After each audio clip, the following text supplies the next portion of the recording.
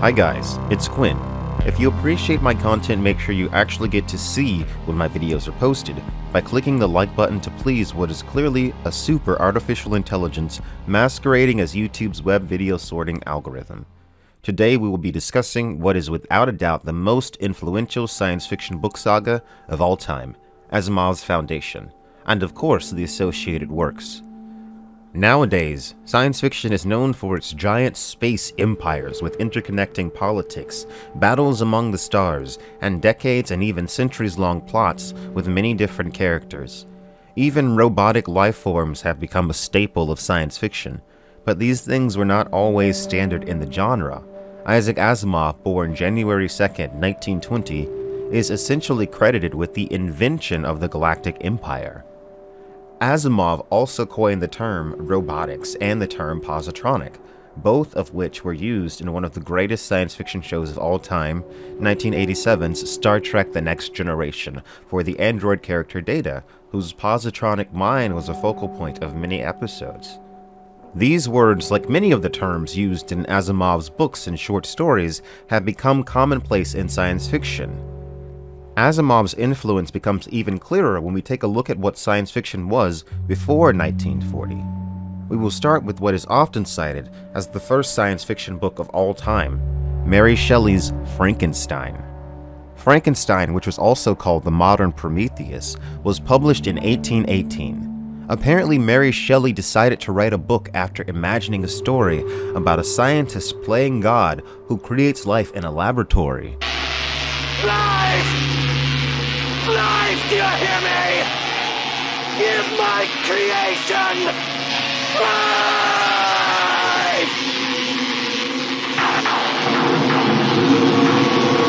but ultimately rejects his creation. In the book, scientist Dr. Frankenstein, using vague alchemy and chemistry, discovers a method for transmuting non living matter into living tissue. Though he had intended to create something beautiful, when the creature is animated, Victor finds it hideous to behold.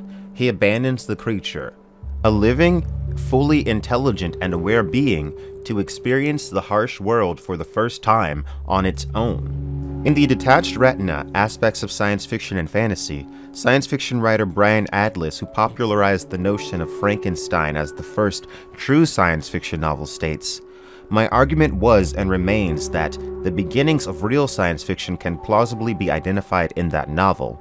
Here is no idle wonder. Here is a man taking control of what was previously in the provenance of nature alone. Two decades on, and my once heterodox view has won wide favor.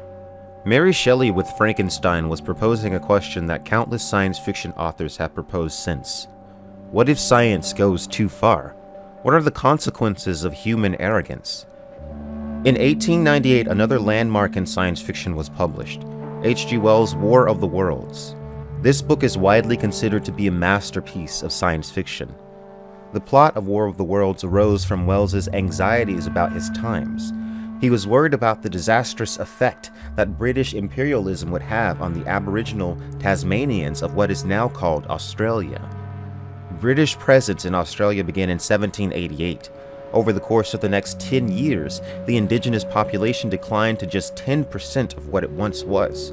This was due to disease brought over by settlers, the theft of their homelands, and of course, direct violence. The Martian invasion of Earth was essentially a metaphor for British colonialism. H.G. Wells writes in a preface to one of his collected works, The Scientific Romances of H.G. Wells, These stories of mine, collected here do not pretend to deal with possible things. They are exercises of the imagination in a quite different field.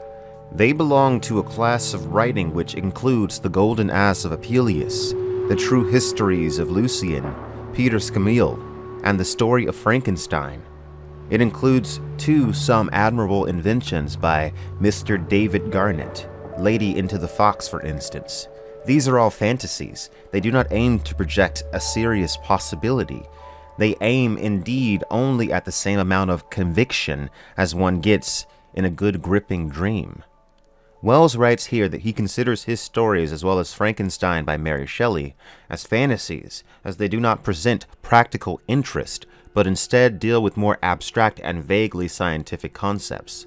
Wells also distinguished himself from the likes of French author Jules Verne, born in 1828, who is now recognized as the second most translated author of all time.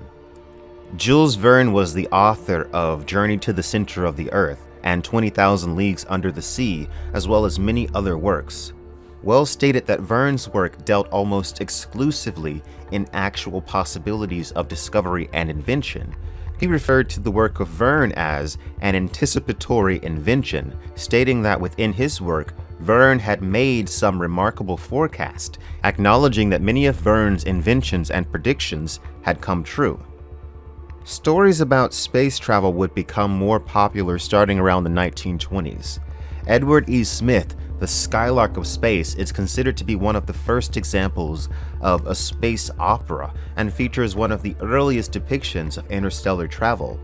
There are also several other stories published about space travel around those times, such as David Lindsay's Voyage to Arcturus and Edgar Rice Burroughs' Under the Moons of Mars, but none of them had the complexity of the Galactic Empire, which Asimov began presenting to us in 1942. In the book Foundation's Edge, the penultimate book in the series, 20,000 years have passed since the start of interstellar travel. There are seven books in the Foundation series, four books in the Galactic Empire series, and a total of 37 short stories and books in the Robot series. All of them interconnect as a part of the same ultra big, millennia spanning fictional science fiction universe, making Asimov's works the premier example of an epic sci fi space saga. Everything of this type since then has borrowed from his work the interstellar political intrigue presented in Asimov's work has been imitated in just about every work involving galactic civilization. In fact, it can be argued that Asimov invented an entire genre of science fiction. The Dune saga, Star Wars, the Culture series, the Hyperion Cantos, and endless others all follow in the footsteps of Asimov. Asimov's galactic empire just like pretty much every other one ever created, borrows many elements from the real-life ancient empire of Rome. Asimov intentionally modeled his empire on Rome because he wanted to depict the fall of a great society, but on a galactic scale, containing 25 million worlds. Frank Herbert directly lifted this idea for his Dune saga, Edward Gibbon's book, The History of the Decline and Fall of Rome, which was published in six volumes, was a huge influence on Asimov and Herbert. The work covered the period of the Roman Empire after Marcus Aurelius from 180 AD to 1453, concluding in 1590 AD. It depicts the behaviors and decisions that led to the decline and the eventual fall of the Roman Empire. The political structure of Asimov's empire was essentially lifted directly from Rome. As I have mentioned in other videos, Asimov wanted to show the inherent issues with giant centralized governments and bureaucracies. Such systems always collapsed under their own weight. Fall of empire, gentlemen, is a massive thing, however, and not easily fought.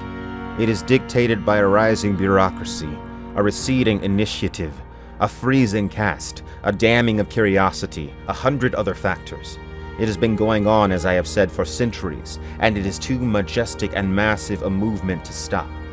The fact that Asimov depicted the volatility of galactic society is also likely why it is commonplace to see galactic society in various stages of decline and unrest in most science fiction. There is almost never true stability. This is true pretty much across the board with some exceptions.